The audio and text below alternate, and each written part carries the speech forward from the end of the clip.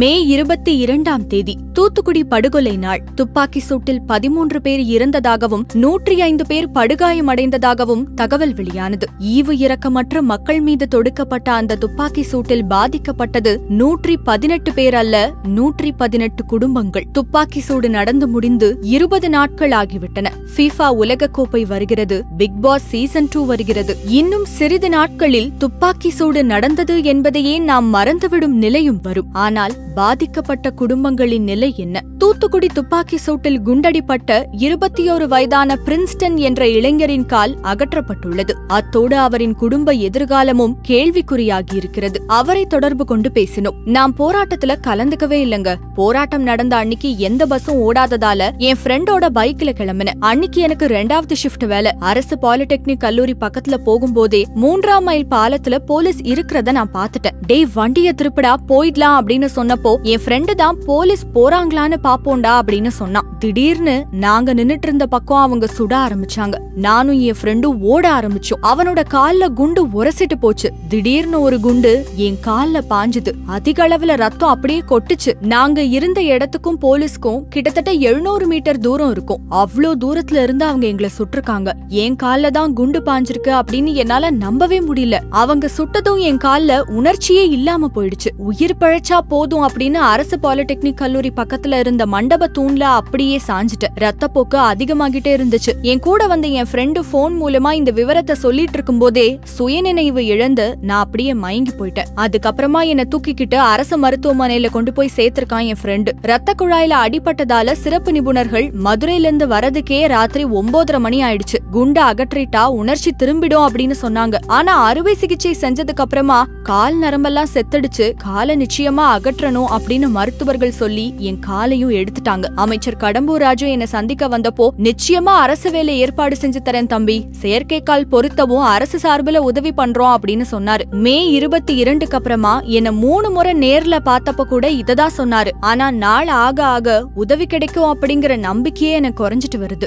வீட்டுக்கு நான் ஒரே பையன். அப்பா சைக்கிளுக்கு பஞ்சர் ஓட்டுவாரு. அம்மா வீட்டை பாத்துக்கிறாங்க. ரொம்ப கஷ்டப்பட்டு தான் என்ன படிக்க வச்சாங்க. மெக்கானிக்கல் துறையில டிப்ளமோ படிச்சிருக்கேன். குடும்ப வறுமை காரணமா உடனே வேலைக்கும் போயிட்டேன். இத்தனை காலமா எங்களுக்கு உழைச்ச என் அப்பா இப்போ மறுபடியும் ஓட ஆரம்பிச்சிருக்காரு. ஒரு கால் இல்லாத எனக்கு யாரு வேலை கொடுப்பாங்க? யாரு பொண்ணு கொடுப்பாங்க? ஒரு நாள் வேலைக்கு போக நினைச்சதால என் குடும்பம் இப்போ இருபது வருஷம் பின்னால போயிருக்கு. ஒரு அரசு வேலை கிடைச்சா கூட போதும். நான் உழைச்சு என் குடும்பத்தை காப்பாத்திடுவேன் என்றார் கண்ணீருடன். மேலும் இது போன்ற செய்திகளை தெரிந்து கொள்ள சுட சுட சேனலை சப்ஸ்கிரைப் செய்யுங்கள்.